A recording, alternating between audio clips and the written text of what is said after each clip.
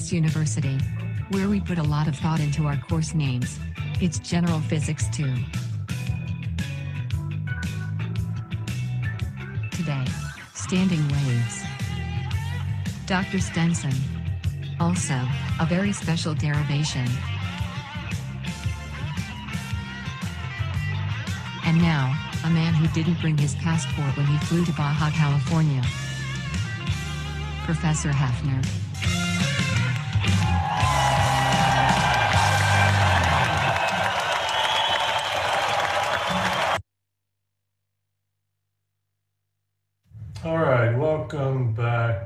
Physics. That thing where I tell you about physics and you listen and we're all excited about it. um, today we're going to continue our discussion of waves and talk about standing waves.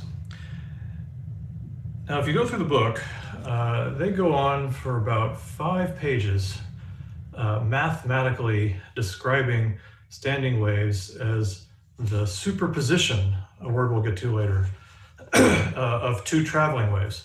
Because the authors of the book seem to live in a world where traveling waves are fundamental.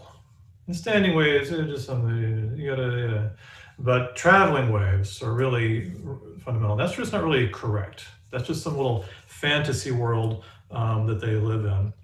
So it's really up to you.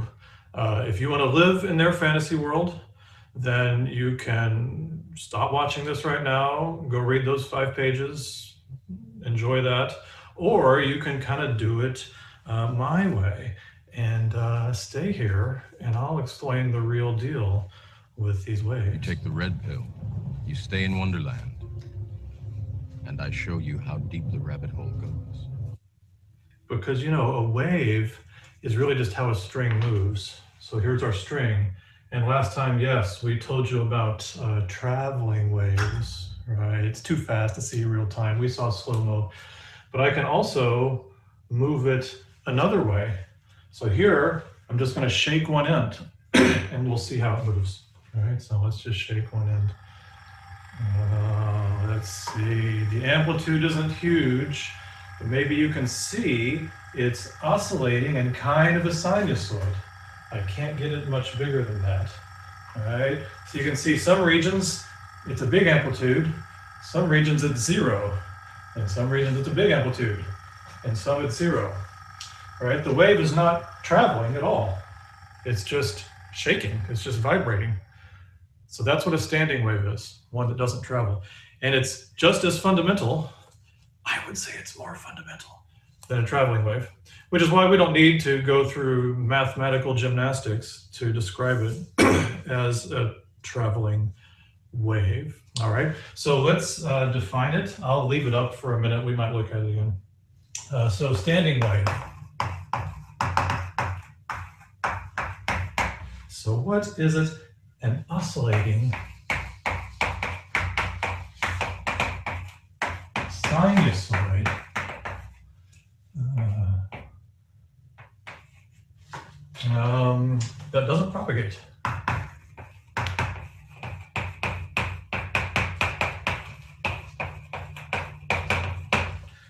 All right. So I can sense that some of you are still conflicted about this. So how uh, it's a, uh, we, have a more one solution? Okay, so the thing about waves we're not showing you is we're not actually deriving the wave equation. Okay, it's a second order partial differential equation. It's really not that hard, but, and I think it's in your book, but just the amount of like anxiety it would create to show it to you is just not, not worth it. So, so we're not deriving it. But know that there is something called the wave equation. And that thing we showed you before, that what was a solution to the wave equation? A sine kx minus omega t plus phi. That's a solution. That's not the wave equation. The wave equation is a different thing. So the thing about partial differential equations is you can have more than one solution. There can be many solutions. Okay. The only thing that makes a solution unique is how it got started. So the way we got the traveling wave started is I held it my secret little way like this to make a pulse. That's how it got started. And that led to one kind of solution. the way the standing wave gets started is I just shake one end. And that leads to a different kind of solution. So both physically, the way you treat the ends of the wave or the wave of the medium lead to different waves. And mathematically, these things are what we call boundary conditions and initial conditions. Different ways you treat the edges of something or different ways you start something off can lead to different solutions to a differential equation. Okay, so creating that pulse leads to traveling wave solutions, shaking one end leads to standing wave solutions. And that's really, that's it. All I'm offering is the truth. Nothing. So you don't need to do five pages, okay? So what we're gonna do now is take this off for a second and draw it. Um, and think about it mathematically. Let's think about what is this mathematical solution. So, you know, we gotta get a little bit more detailed and technical here. So here's our two walls and here's our string and it's connected here and it's connected here. And I'm not going to draw it straight because we're about to draw it moving. So that wave you saw, that standing wave, kind of looked like uh, this. It kind of had a sinusoidal shape and peaks and valleys, etc. And then, but it also, because it's all blurry and your eyes aren't fast enough, it looks like that. And you see these are cartoon world for shaking, right? It was shaking. All right, something like that. So the way we're going to describe this mathematically is like this, y of x and t. Okay? It's a wave solution. It's still a function of y of x and t. y still represents how deflected it is. x is still means along the wave. t still means how this all changes in time. And it looks like this. Are you ready? Because this is, okay. Okay, a, now with the sinusoid, it's got an a, right? You know where the a goes. Sine kx cosine omega t. So that's a reasonable way to write it. We could put a phase constant on each sinusoid, but again, why create unnecessary anxiety? okay, let's talk about what these are. Oh, we'll burn through them real fast because you already know. They're just a lot of them are like last time. All right, A is the amplitude of this sinusoid. If we drew the origin right through there, those are supposed to be in the right place. There's A. Um, K is still the wave number. So these symbols mean the same thing. 2 pi over lambda. And lambda is still from here actually to there, because you gotta go through a full wave. So K is the same thing. Omega is the same thing. It's the angular frequency, just like before. It's 2 pi times the frequency, as you would probably call it in your everyday, in your everyday discussions about waves with your friends. You'd probably talk about F. Um, a new feature of this. So to show the new feature, we gotta we gotta show you an anatomically correct drawing of the. Uh, don't worry, it'll be okay. Um, so if I were going to draw this anatomically correct here, I would say, okay, this is what the flat wave would look like. And if we draw, oh my God, no, it's clamped. Oh my God. I can't draw it anatomically correct. What does that mean? Um, paging Dr. Freud. Let's see. Um, something like that. Oh, that sucks. But anyway, so this is where it would be um, now. But just make sure you understand it's moving, right? So here I'm going to draw where it would be a half cycle later, all right? And then it would be down here, right? So you get that these things are going up and down, up and down, up and down, all right? This is going up and down, up and down, up and down, up and down, just not in phase, you know, out of phase with that one. Back and forth. Okay, that's what's really happening. And the, the feature we want to show you are the nodes and the antinodes. Okay, so nodes.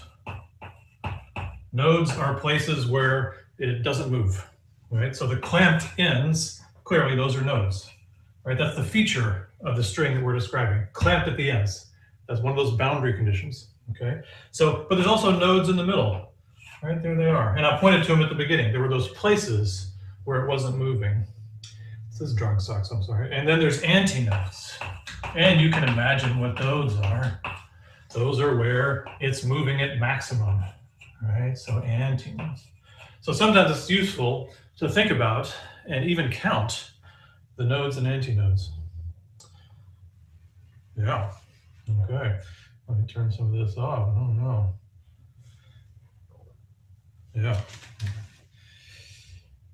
Let's see. So uh, I was going to define them. I'm not going to write out a definition because we're running out of room here. Nodes are where it doesn't move. Antinodes is where it moves as much as possible. So the last thing I need to tell you is about these. This is like the most important aspect of um, standing waves is that standing, I'm shouting it at you, waves. It's like when your grandparents send you a text, exist at certain frequencies and wavelengths. Wavelength. So that, oh wow, I've got some musical notation here. That um, traveling wave, a sine kx minus omega t plus phi, it could really be going at any omega and any k.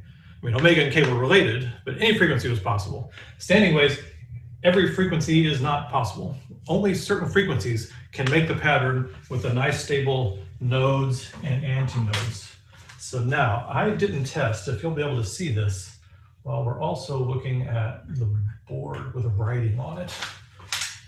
Mm, yeah, I think so. So let's turn it on. And what we're going to see is uh, this is a normal mode. Or let me tune it up a little bit here. So I'm adjusting the frequency, trying to get the amplitude there. All right, so let's count the antinodes. Whoa, we lost it. Oh my God, this never happens. Here we go.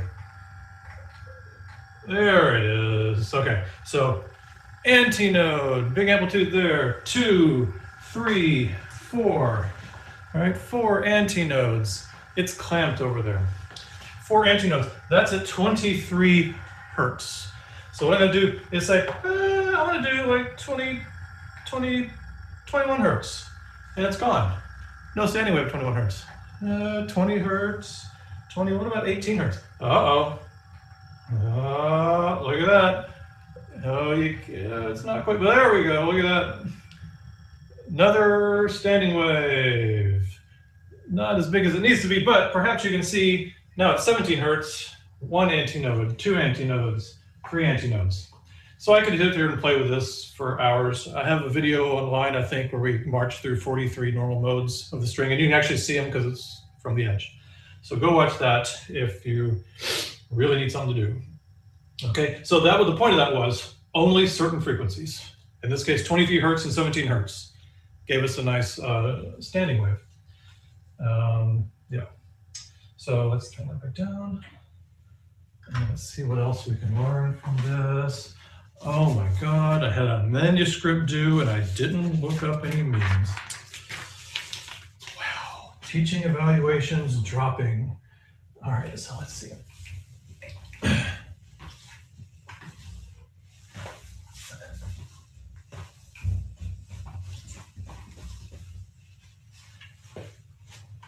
There we go. Um, okay, yeah, so now we talked about uh, things related to the traveling wave. Uh, the omega was the same. The k is the same. Here's yet another one. Propagation speed is still um, a property of the wave. Of the wave. And to say it's a property of the wave is a little weird thing to say. It's really a property of the medium. What I'm trying to stress to you is that the wave speed, the propagation speed we talked about last time is still relevant. It's still something you'll maybe need to calculate and that you can even use, okay? So let's remember what they were. For a string, V was the square root of tension over mu. So I'm sure there's some homework where you calculate that, okay? For sound, what was V? Oh, it's just 343 meters per second. It can vary with environmental conditions and blah, blah, blah, blah, blah. But we call it, we always just call it 343 meters per second. Things that are still true then. If that's true, it's still true that omega equals uh, v times k, and equivalently, that velocity equals frequency times wavelength. Remember, these are the exact same thing. One is just in radians and one is not. Okay, so you still use this with a standing wave to calculate things. Say, you know, you've got the frequency of a standing wave. You want the wavelength. Oh, it's just v divided by the wavelength, or back whatever the other way. Okay, so even though it's not propagating, this is still an important property. All right, so it's not really just a propagation velocity. It's a property of the medium. Okay. Here's what we're going to do now for the clamp string.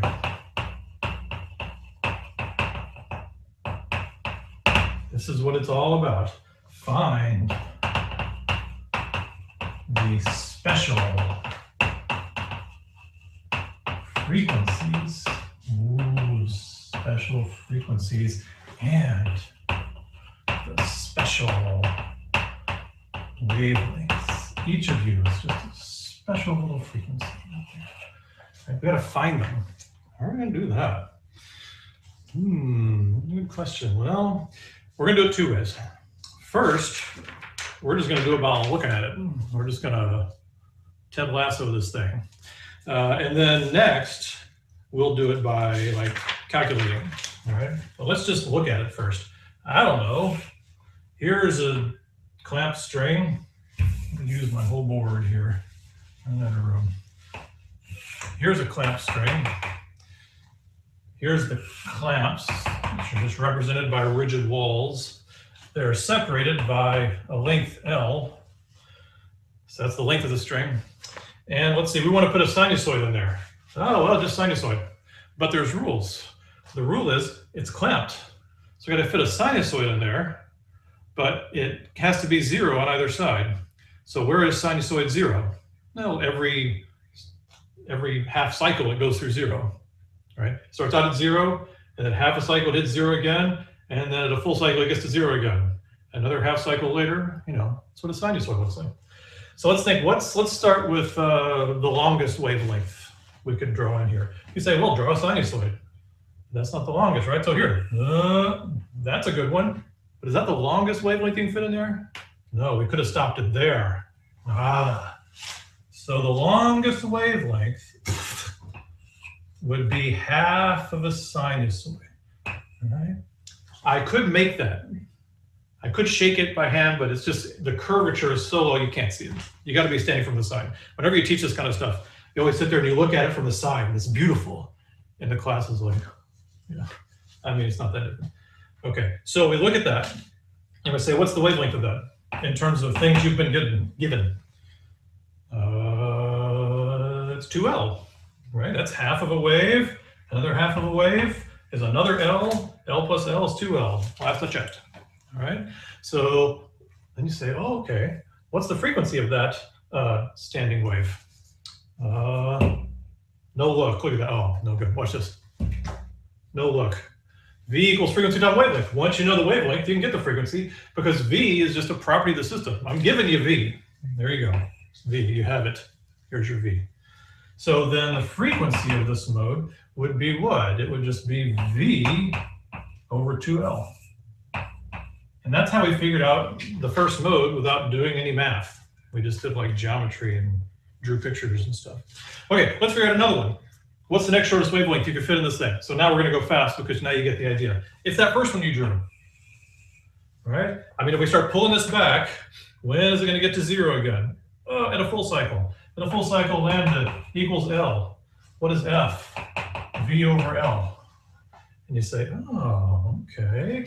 There seems to be a pattern forming here. Hmm.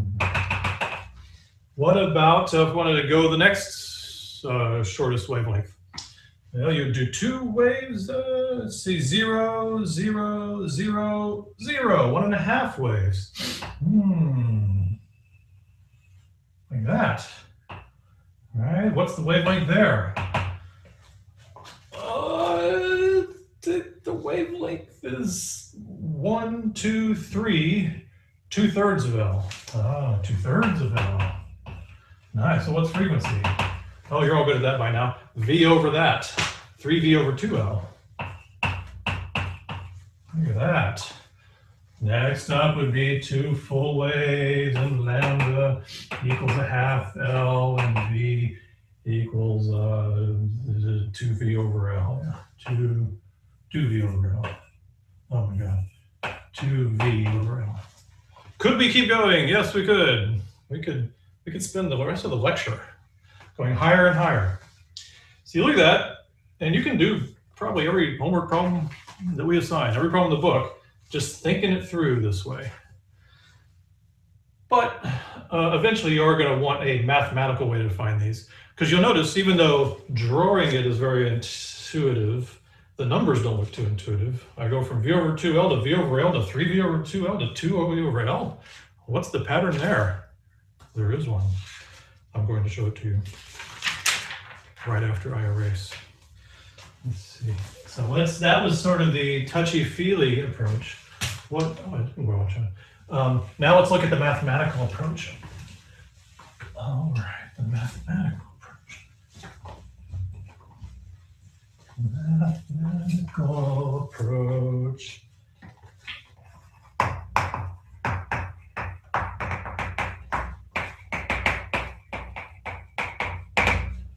Could skip it, but I just feel like it just wouldn't be right. I just I can't make myself skip it. So let's uh, remind ourselves what this thing is.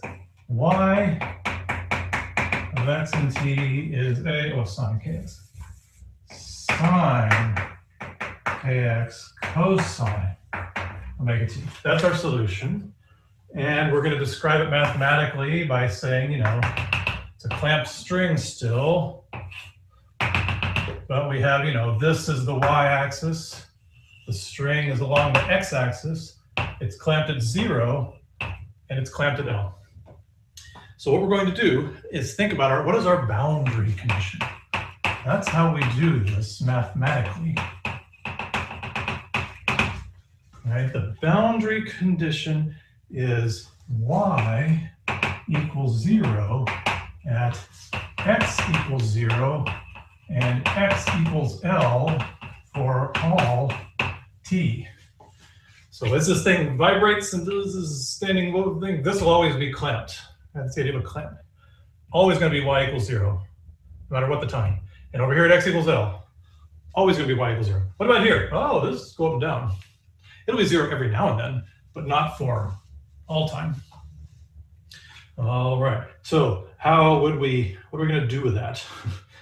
so uh, what we're going to do is uh, we're going to use it mathematically. Okay, so let's do the left side. Let's apply that boundary condition is what we're saying we're doing. Y, what about X? Zero, because we're saying it's at X equals zero. What about T? Just T, because it's for all time, right? X equals zero for all time.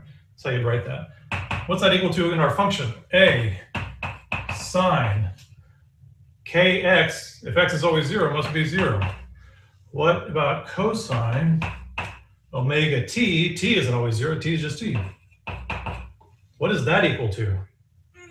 Zero, zero, zero. So then you gotta, it's sort of like you talk to the equations. I talk to them. I'm like, what is it gonna take to make you zero today? You look at this and you say, A could be zero. No, we don't want A to be zero. It's not a wave. Uh, could cosine omega t be zero? No, not all the time. It's occasionally zero. It goes between one and negative one. It goes through zero. But is it always zero? No. Is sine zero zero? Oh, yeah. Okay, zero equals zero. What did we learn? Nothing. Okay, the left boundary doesn't tell you anything. Nothing. Ah, who cares? Okay. Now, what about the right? What is the right side going to teach us? Let's write the boundary condition to the right. Everybody take 10 seconds and see if you can write this version of the boundary condition for the right.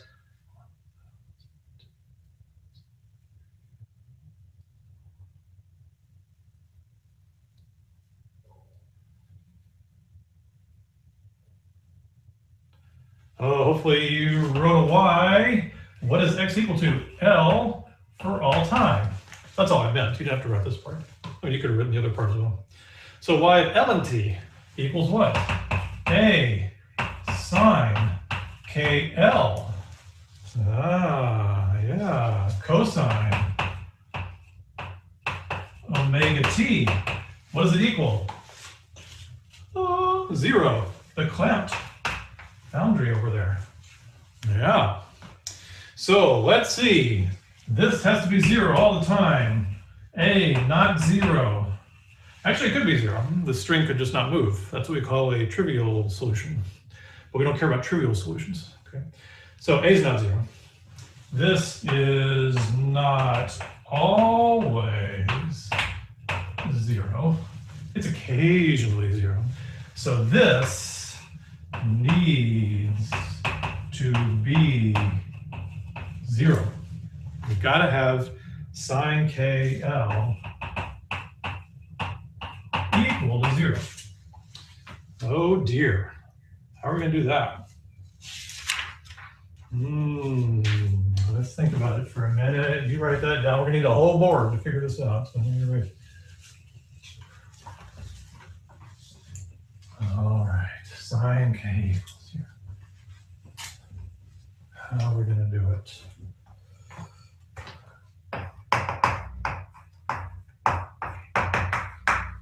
How are we going to make sine k equal to zero?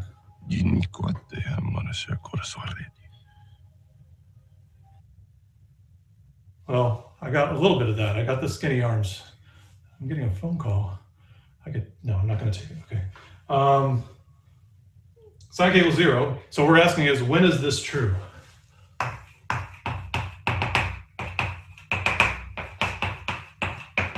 When is it true that sine this uh, KL equals zero? Well, when does sine x equal zero? Or not x, I shouldn't say x. When does sine, we can't use x, y, we can't use t. Somebody drop, how about f? No, f is like a function. Okay, z. When does sine z equal zero? Uh, running out of letters here. Uh, you just ask, in general, I'm asking you just when is sine zero? Sine is zero, if you think about it, when the the argument, the thing in the function is zero or pi, or two pi, three pi, four pi, five pi. Yeah, it's at every pi, right? So when is it zero? When uh, KL equals zero. That's one place. Uh, when KL equals pi, another place. When KL equals two pi. And uh, we could go on. Do we want to? Sure. KL equals 3 pi. So that's where we're answering the question. When is that true? We don't really need this. This is just going to confuse you later when you don't know what the z is. Right? Sine KL is 0. When is this true? When those are the KLs. Right? If you go plot sine, you'll remember why. Hmm. Oh, I didn't see I was missing things. Okay. Oh, you're answering the question. Wonderful. Theta would have been a good choice. Brilliant. Yes, I should have thought of that. Let's see. So what does it mean if KL equals zero? Uh, can L be zero? No. So it would have to be that K equals zero. And what we're doing is using this to figure out what those wavelengths could be. Hmm, well, K is 2 pi over lambda, right? And that's equal to zero. What does that mean? Lambda has to equal infinity. Is that a good one? No, no, that's not a good one. This is what we another like trivial solution. Technically, that's the case of it not moving, because if something is just flat, its wavelength is infinite, but it's not a solution we care about. Let's move on. If KL is pi, then what wavelength would that be? K is 2 pi over lambda times L. The L has to be there. Don't get tricked. The only reason this L disappeared is because it's not zero. The thing is equal to zero. We actually have to keep our L here equals pi. So then we say, let's solve for lambda. Lambda equals, uh, this comes over here, and it's 2L. Wait a minute. That sounds familiar. 2L. That's what it was, and we just said, uh, let's put half a wave in there.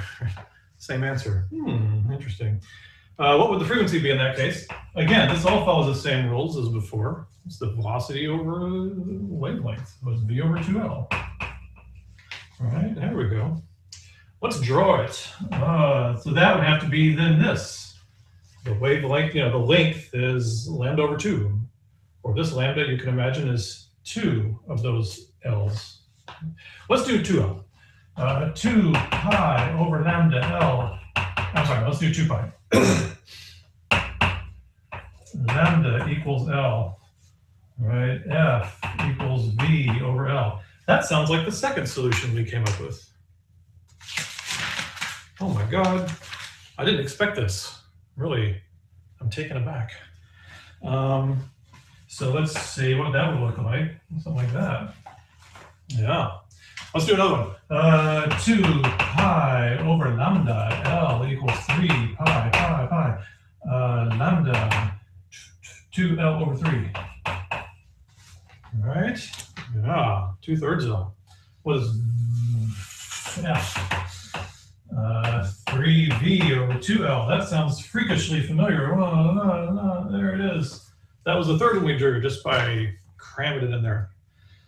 So, so I didn't leave myself room for this bottom statement. I'll put it up here. Oh, I could just do a scrolling board. Never thought of that. We could write a blog post about it. Okay. Uh, gotta catch them all.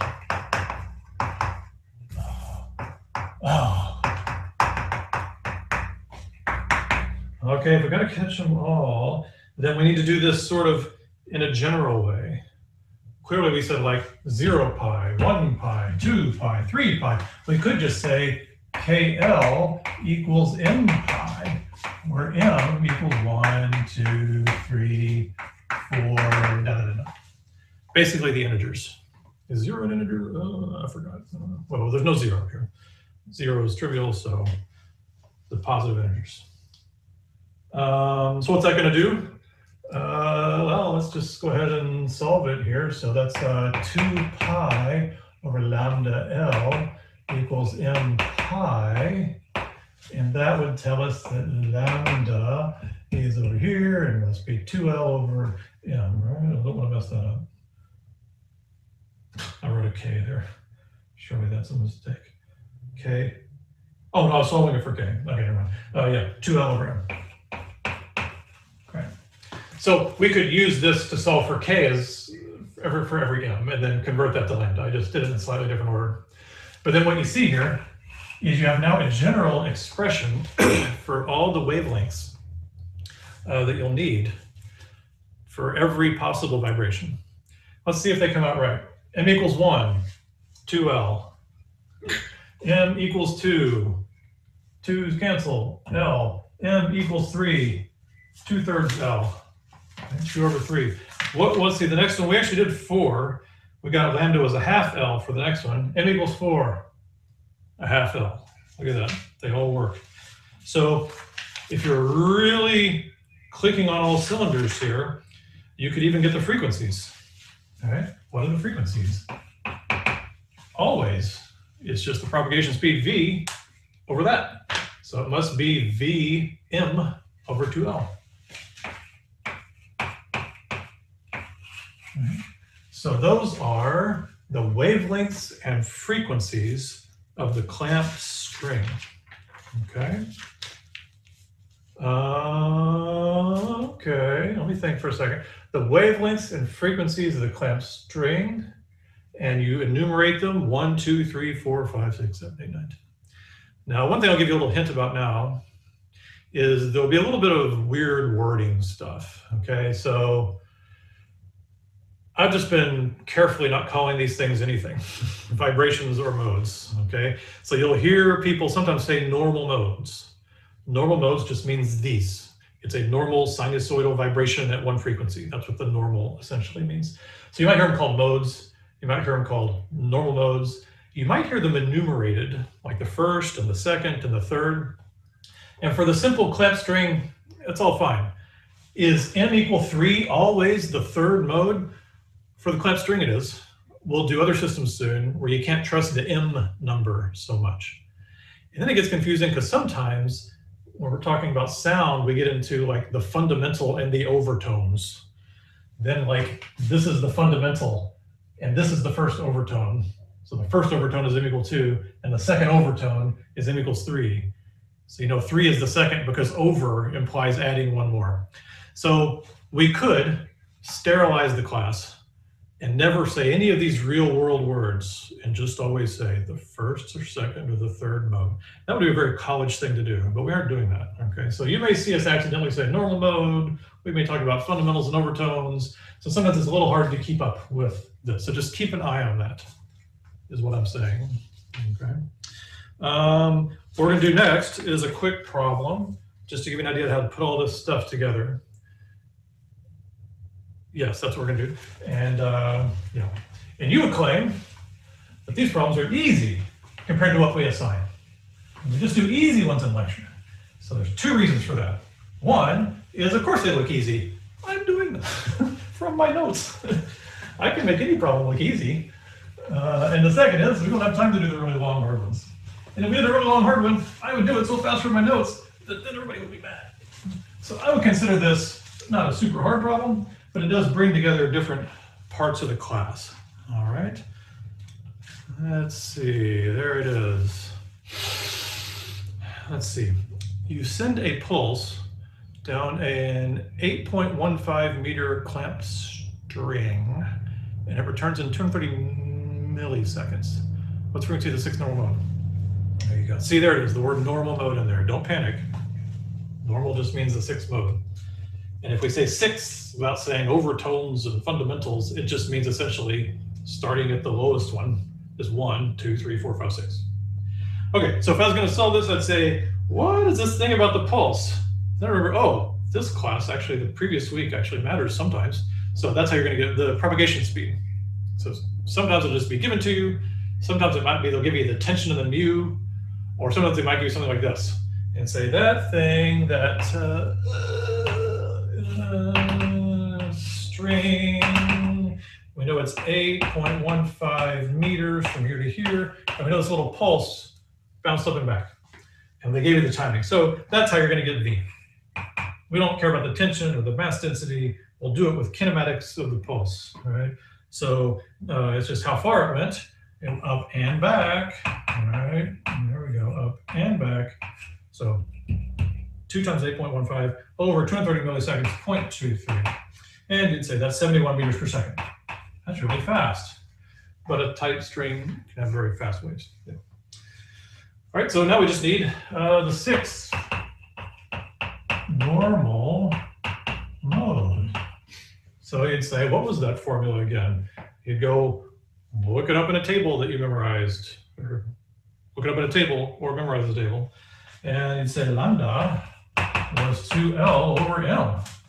Remember, M equals 1, it's 2L. M equals 2, it's L. M equals 3, it's 2 thirds L. What if it's M equals 6? 2 times 8.15 over 6. All right? 2 times 8.15 over, oh, we're asked for the frequency. That's why I'm confused. Yeah. What is the frequency of the sixth normal mode? Right. So we could solve for lambda. Uh, we don't really need to. We could go straight to the frequency. F equals uh, V over 2L times M. So sometimes I drop the M in the numerator. Sometimes people like to put the M by itself to remind you it's just like properties of the system times an index that's increasing. So I wrote VM over 2L. You could also say V over 2L M. You'll see it written both ways. You'll survive. Okay, so then you would say, okay, it's 71 meters per second over 2 times 8.15 uh, times 6, because we said the sixth mode. So we do mean m equals 6 for this clamp string. So anyway, that is 26 hertz. And you know, if this were a waves class that I've taught in the past, we would set up that whole experiment and do it. We could measure the pulse back and forth, get all that, and it actually comes out very accurate because this is why we do strings, is they follow basic physics pretty accurately. Ooh, draw it. Mm, how are we going to draw it? Are you going to get the drawing right? Well, um, I'm going to draw it down here, get myself a little more room. How would you know how to draw it? Um, there's a few ways you would know. One is you could actually have solved this wavelength. and you would see, oh, a full wavelength is a third of the length. So you know it must look like sinusoid 1, sinusoid 2, sinusoid 3. And then you could draw the phase like that. And there you go, full credit. So one would be to just look at the actual wavelength calculation, the width, and just draw that many sinusoids in there. You don't really need the numbers in this case, you know it's a third of, of the drawing. Um, there's another way though, and that is to count the antinodes. This is what those nodes and antinodes are good for. In this case, you would just want to draw it where the number of antinodes equals um, the mode number.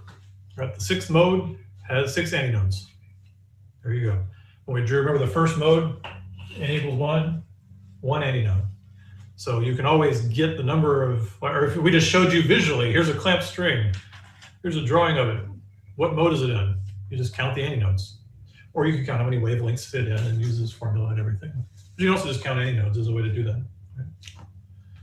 Let's see. So anyway, that's that problem. So there you go, 26 hertz, and there's your drawing. Could have even gotten the wavelength there. Okay. Okay, so that is it for standing waves on a string. I think with that you can do all the homework. In the second half of the class, we're going to of the lecture, we're going to do standing waves and sound, standing sound waves, and then maybe we'll start get into interference a bit. All right, so I'll see you in five minutes.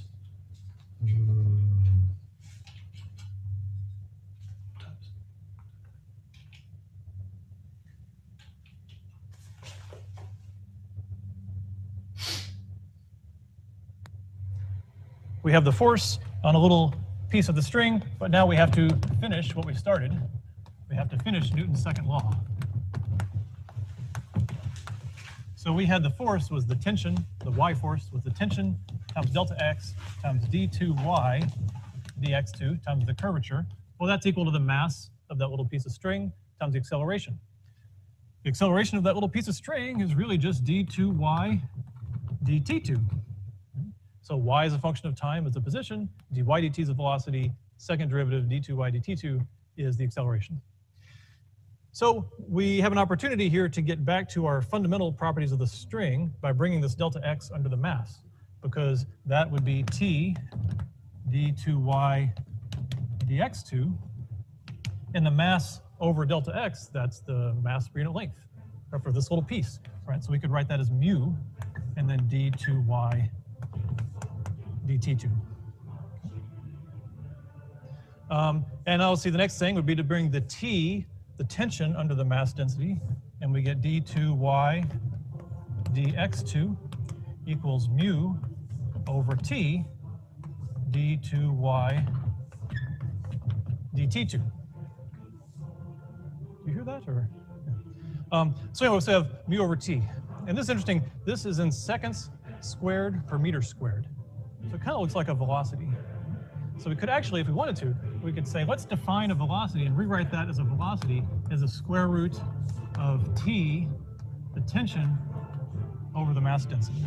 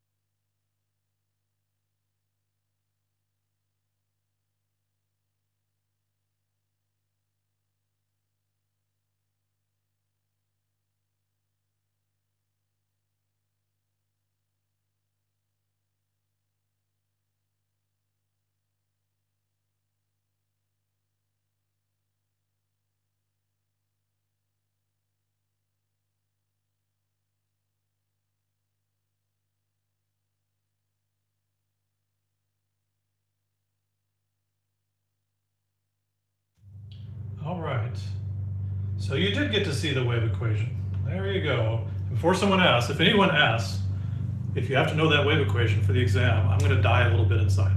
Okay, a few percent. So just don't ask me that. That was for fun. Okay. You don't need to know. It's a partial differential equation, second order, linear. It's linear. I mean, you know, it's not graduate level, but but no, you don't need to know the partial differential equation. Um, also, a question about the lab. Uh, I don't think you're assigned groups. So, but email Dr. Dodds if you're not sure. But I believe you can do it on your own or you can find a partner, I believe. Yeah. Okay. So we just did standing waves and strings. So hope we got the idea. Um, what we're going to do now is standing waves in an open pipe, okay, or tube, or whatever you want to call it. So just imagine that we have a tube. So I'll put the little marks here, meaning that's solid and that's open. And we're talking about sound waves, so we have to think about the air. So the deal with um, an open pipe, so an open pipe um, is always at pressure atmospheric at the ends. At the ends. And then, even though I said always, you're going to question me. So I'm going to say even as air rushes in and out. And I'll put in parentheses because I shouldn't have to say it. I told you always. Yes, even as we get a wave, because remember, what is sound? Sound is a wave of pressure. So it's the pressure value in the air fluctuating. Traveling is a traveling wave we learned about before. But uh, so what we care about is the pressure. So we're going to say it's going to be an atmospheric pressure here, an atmospheric pressure here. But the point of the pipe is that it's containing this column of air. It's not open in the middle. So air can move in and out and change the pressure on the inside. Okay, something like that. So let's think, uh, since we, you know, we have the wave equation describing sound, describing the pressure, what kind of a pressure situation could we get here? So let's plot the pressure versus x at different times and say this is x equals zero and this is x equals L. So just like the string being length L, pipe's like L. So when we plot pressure waves like this, we put the atmospheric pressure at the origin, not zero. So we don't go to zero in a sound wave, we just fluctuate around atmospheric pressure. So you'd say, well, I know it's got to stay there, it's got to stay there, and x equals L. Right, no choice because of what this says. But it could change in between. So if we wanted to put a wave in there, what's the first wave we would get? It would be half a wavelength, right? Or it'd be that zero to L is a half wavelength. The wavelength is two L. It would be this, what I'm trying to say. There's the sinusoid that I can draw. It's the longest wavelength sinusoid I can draw. That's our good old m equals one. Remember from 10 minutes ago? m equals one. I could even attempt to draw it. Let's do some like physical chemistry here. That many dots represents atmospheric pressure. As we go in, it must get higher.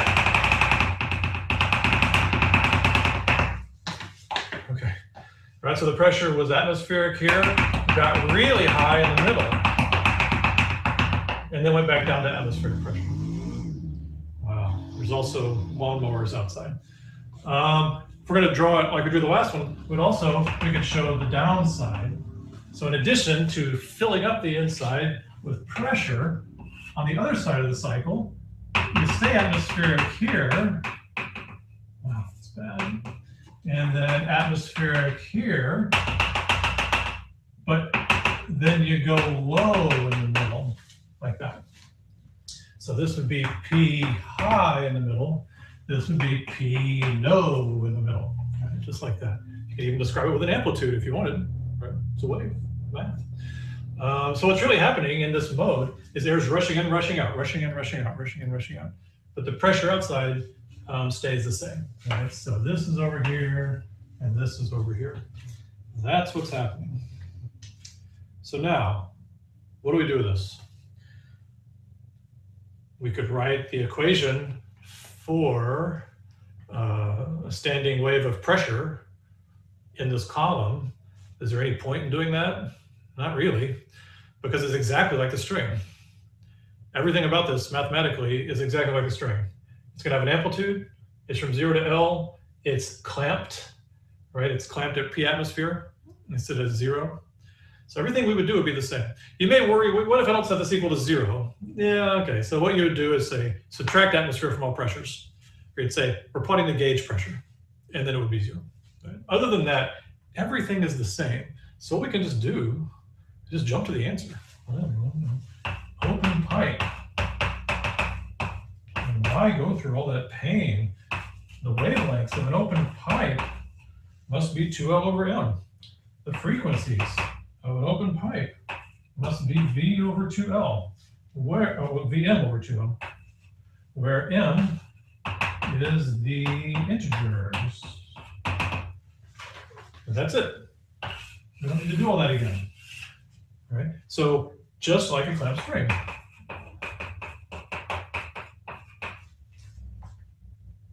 Yeah, that's the funny thing about coincidences, ain't it? Sometimes they just happen. So the coincidence here is that the string is just like the pipe. And this is what physics is all about, right? Some little simple equation you solve and it applies all these different things in the world, right? That's what we get excited about. So, and we also get excited because we're lazy and we don't want to have to drive things over and over again. It's like, oh, it's like a string. Move on. So let's see if this is really true. So what I'm going to do here is we're going to turn on the spectrometer. There's the spectrometer. There's the lower end of my lovely voice that you get to listen to all the time. This is the departmental whistle. Look at that. That's a nice one.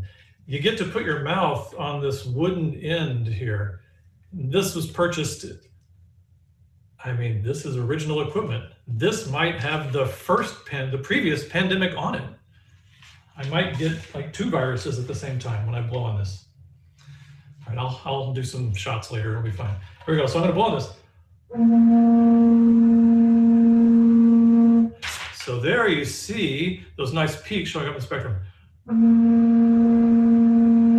And you see three of them.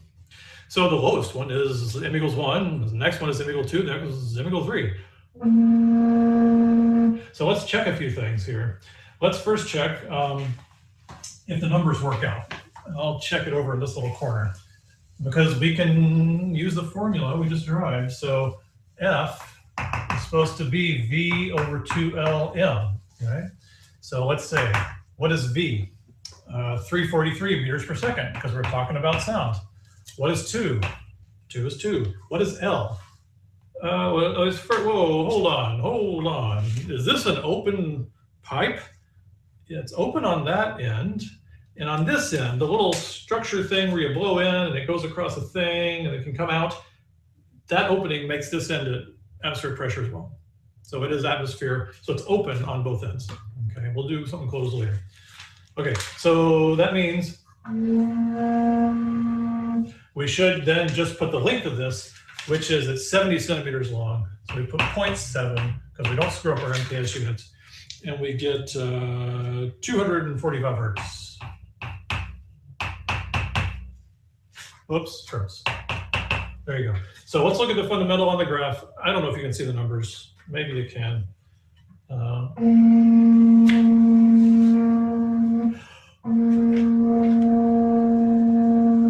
mm, pretty close, right? I think it comes out a little low. I can't see it from here.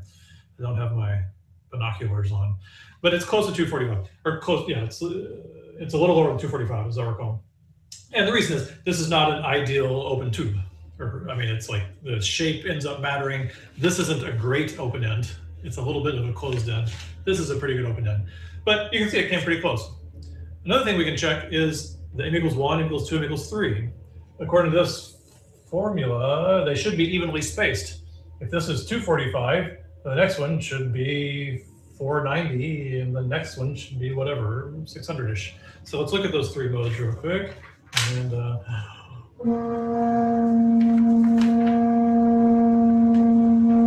so yeah, they are evenly spaced.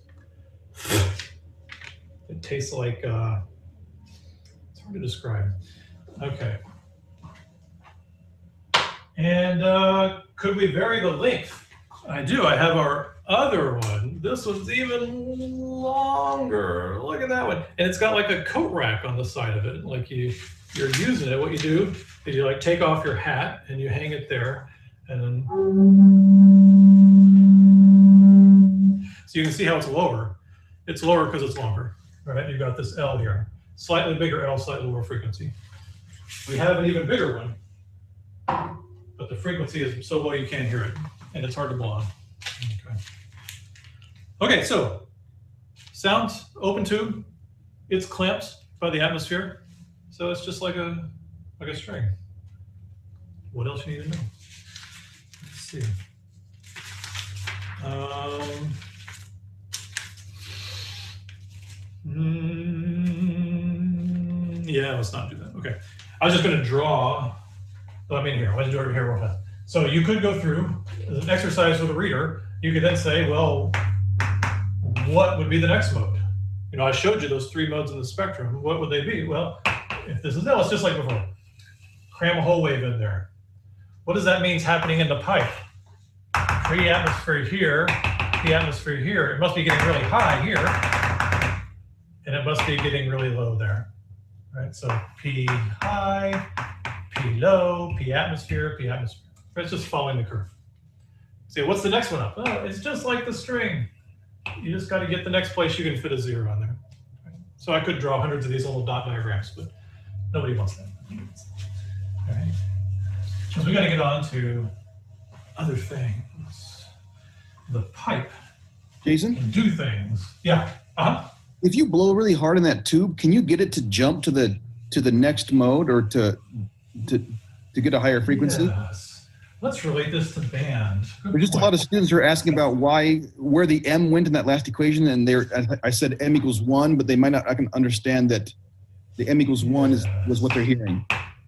V over 2LM. Yes. Okay.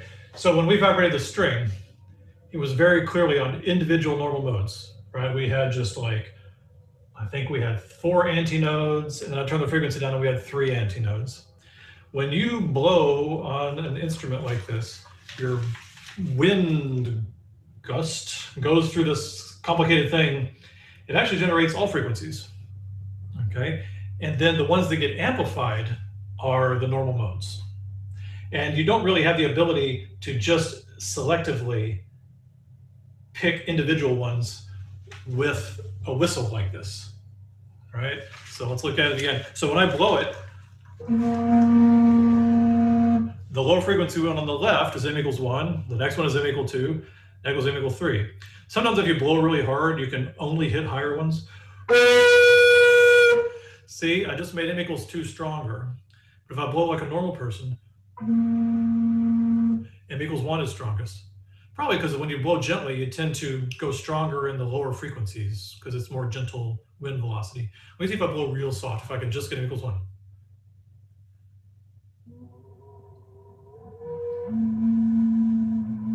Almost. Let's see if I can just get equals three. There you go. I just got equals three. If you played uh, a brass instrument, then you know as you loosened and tightened your lips, you could hit different notes. And that's because in a brass instrument design with the mouthpiece and everything, that's designed to make it where you can hit just m equals one or m equals two or m equals three. So when you hit different notes with the same fingering position, you're just hitting different m's. So yes, it is related to a band. We could go on, but this will turn into a music class, so let's just stop. Okay. Um, another way you can change the sound is to close one end of the pipe.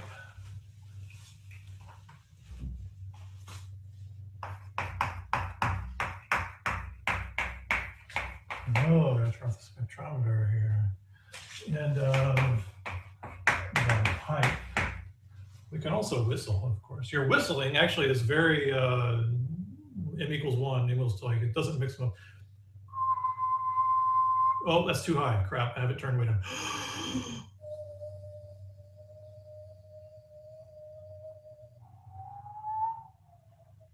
Okay, well, you can't see it's just one because I don't have the spectrometer going high enough. All right, I mean, I could go change it, but we're supposed to be teaching you stuff here, not playing. Um, okay, so let's do the physics here. let's close one end of the pipe. What's going to happen if we close one end of the pipe? New boundary conditions. Remember, an open pipe had to be an atmosphere at both sides. What does a closed pipe do? Ah. See. So we only close one end of the pipe. Open end, what? It's got to be a p atmosphere. But as gas rushes in,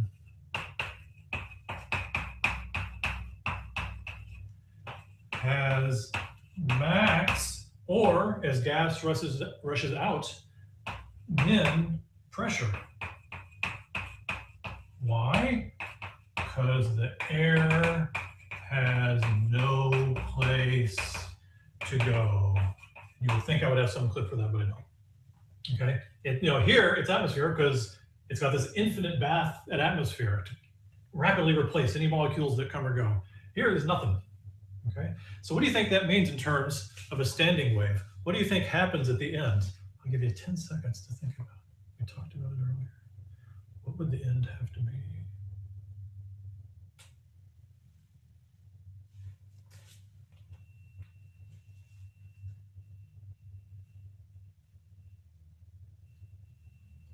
An antinode. That's right. This is going to have to be an antinode because it's where you get max and min pressure. All right, so let's draw the pressure versus X. Right, P. There it is. And remember this, whereas P atmosphere is it's not really zero, it's at P atmosphere. And uh, then the fundamental mode now, or sorry, oh, there I go, fundamental. Uh, what is the longest wavelength mode that we're probably going to call m equals one? How do we draw it? It's the longest wavelength. So now we're not saying we take a sinusoid and we need two places that are zero. We need one place that's zero and one place that's maximum. What's that going to look like? Let's let's just that's getting tricky. So let's draw a sinusoid here. What's the closest I can get where one place is zero and one's maximum? There and there? So it's basically a quarter of a cycle is the longest you could wavelength you could cram in there. So it's going to look kind of like this, like that. That is the longest wavelength I can think of. What does it look like physically? Uh, P atmosphere here and then really high pressure here. It'll be on one cycle and then half cycle later, all that air gets sucked out. And you have really low pressure here, right? High, low, high, low. Okay. Um, so what does that mean then? Zero to L is now um, uh, lambda over four. Or equivalently, L equals four lambda. Okay. Instead of two, because it's a quarter of a cycle. Right? L equals four lambda. So what does that mean? that means the standing wave gets longer.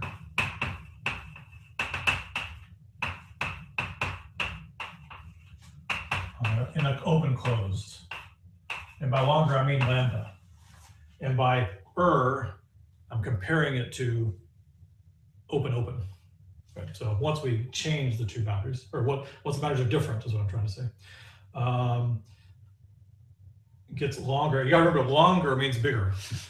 so the uh, standing wave frequency gets lower. Okay? Longer, lower. Remember their inverse relationship. Velocity equals frequency times wavelength. One goes up, one goes down. Remember, this means up. Longer, bigger, smaller. So the frequency uh, should go down. In fact, we could get the frequency. So here we had, um, uh, we could say Wait, did I write this backwards? L is now, L is lambda over four. So lambda is four L. Sorry, yeah, I wrote that backwards. People were freaking out about that. Lambda is four L. So if lambda is four L, then the frequency uh, of that fundamental mode is just V over four L. Right. Okay.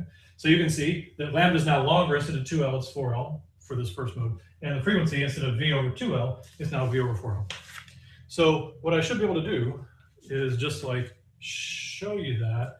And it's like these whistles just not quite, they're too long. It doesn't quite work. I'll try, I'll fail. So I'm gonna just blow it open and I'm gonna close one end. See what happens.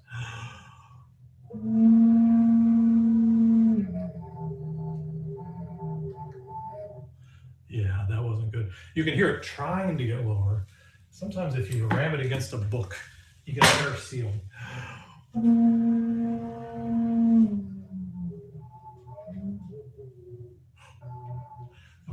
I'm gonna edit that out. That was a failure and not very dignified. Uh, okay, but the point is the frequencies get lower. I'll, I'll find another whistle that makes it clear for you sometime. That book. Okay, so now we're gonna do is erase and then look at the the higher modes because things are gonna get weird. Okay, it's not quite as, it's not exactly the same as closed closed. So, so far we've established that open closed. So far the difference is the first mode, longer wavelength, lower frequency. Let's look at the higher modes. Let's see.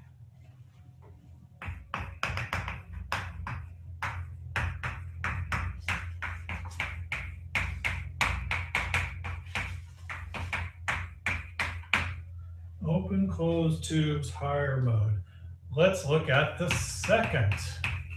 We plotted the first, and I did plot the second and third. I spontaneously did for you, but let's plot it again here officially.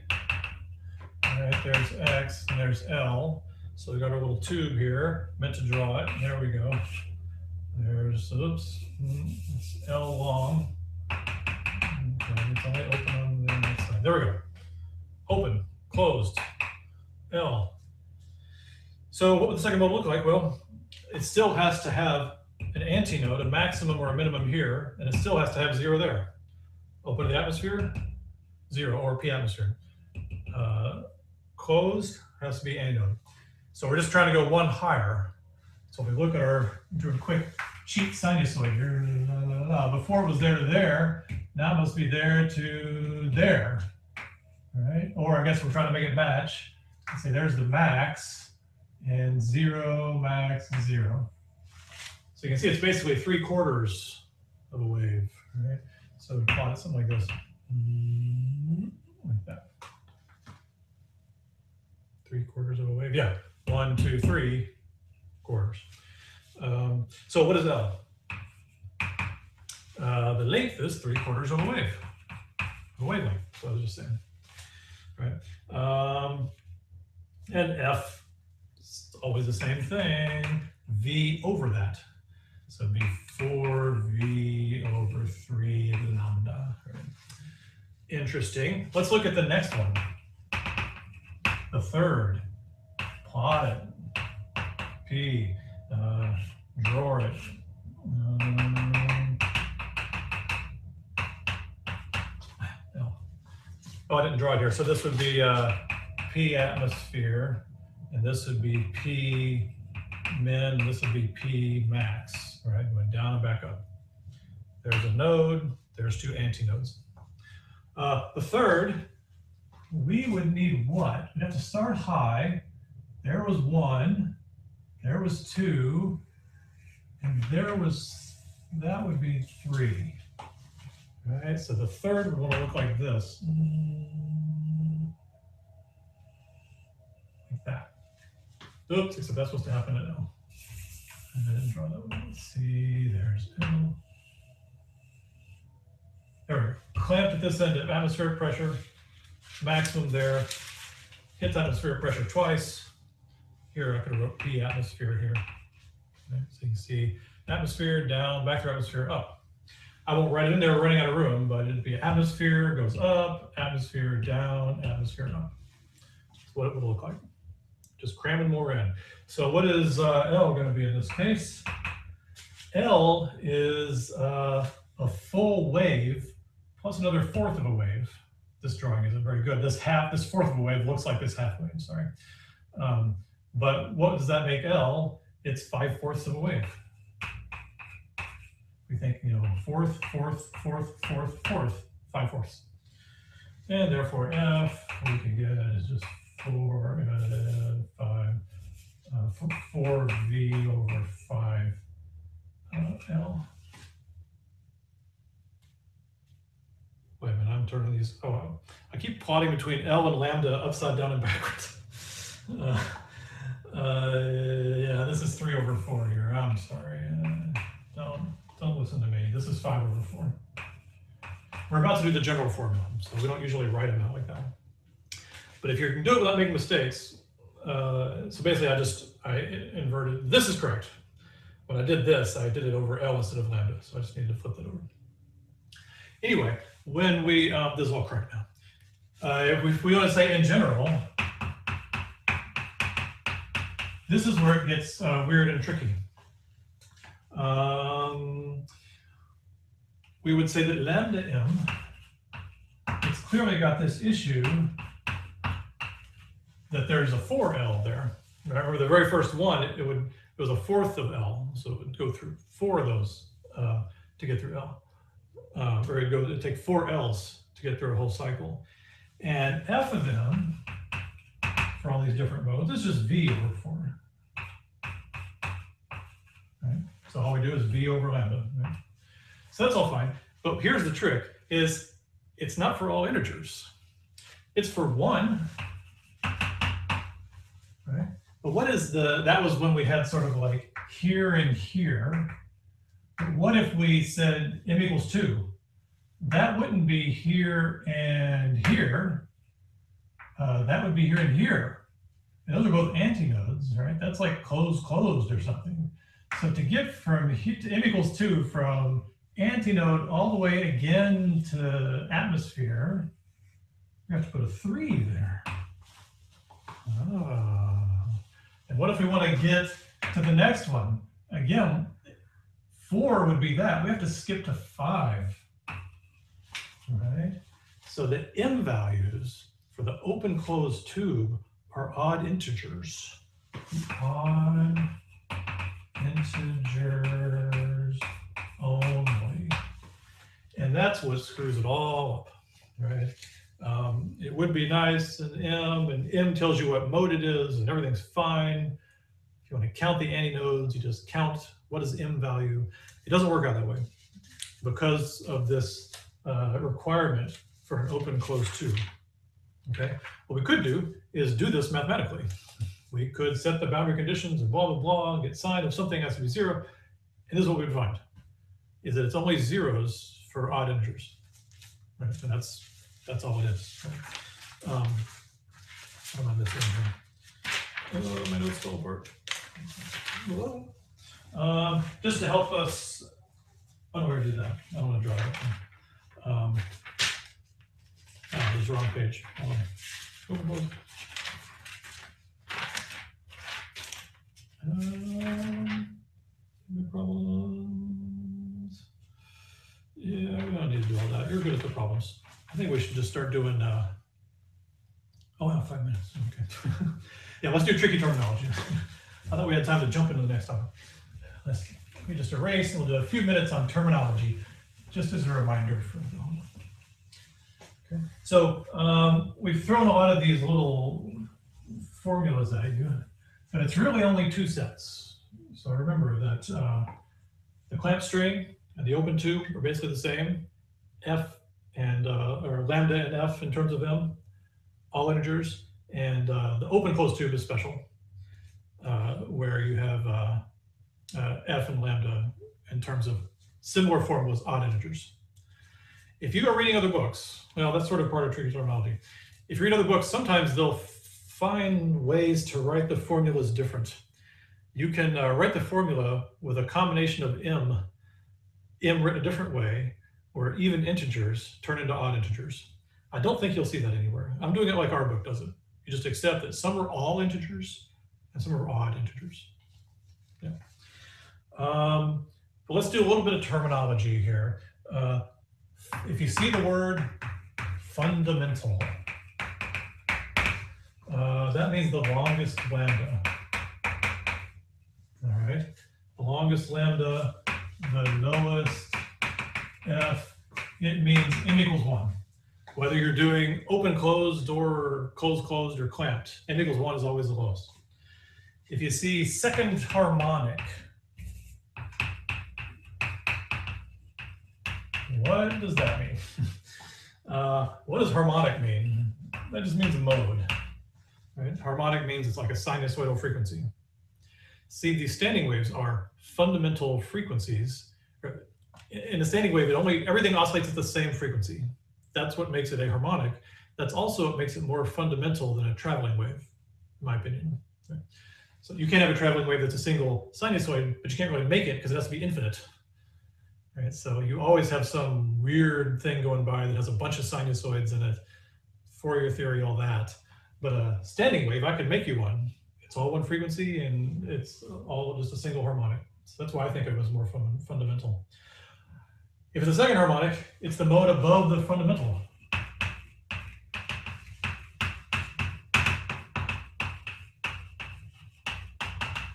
Right, so what would that be? That would be m equals 2 for clamped string or an open open um, it would be m equals 3 for an open closed tube all right so the key is m doesn't count the modes for you m is the value you use uh, to plug in to get to get to get frequencies and wavelengths right? Uh, let's see. What if we wanted uh, the first overtone? What is the first overtone? It's that, right? Because it's an overtone over the fundamental. Those are not vibration marks. Those are now ditto marks, right? All of this is the first overtone. What is the third harmonic? Now you're you can you can iterate from here, right? So this would be m equals three for open, open, or clamped, m equals five for open, closed. Right? Those are just some words to look out for. Um, a couple other things, other confusing things, especially if you try to read the book. One of other confusing one. I did this whole thing in terms of pressure, okay, for sound. You can also think of the velocity of the air molecules, and you can plot what those are doing. And it's basically the same thing, but all the nodes and antinodes are reversed. It's open, open for that one means that the velocity is at zero. I'm sorry, the, the velocity goes to its maximum. So the ends, instead of being nodes, are antinodes. But the formulas work out the same because the two sides are treated the same really this difference is whether both ends of the string or column are the same or that both ends are different. So there are ways to think of sound this other way in terms of velocity. It's in the book somewhere. So if you see that, just be prepared for that. Okay, I will see you Thursday. Well, you'll see me Thursday. You know what I mean.